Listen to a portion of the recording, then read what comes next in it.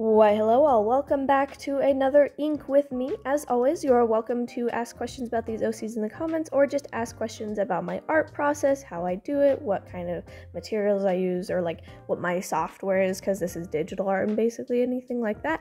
Um, and some of you may be wondering why I'm drawing a completely new drawing instead of finishing like the five others I have to do.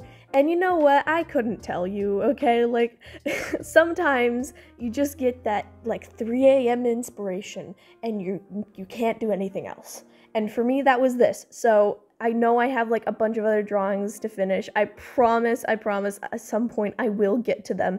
But for now, this is what we're doing and i hope you guys like it despite the fact that it may be unsatisfying for some of you that i'm not finishing the drawings i was working on. And if you do want me to like finish a particular drawing because you want to see it the finished product and everything like that go ahead and ask in the comments. I'm absolutely 100% happy to do that for you guys and get that content out for you. I'm just right now working off my own schedule.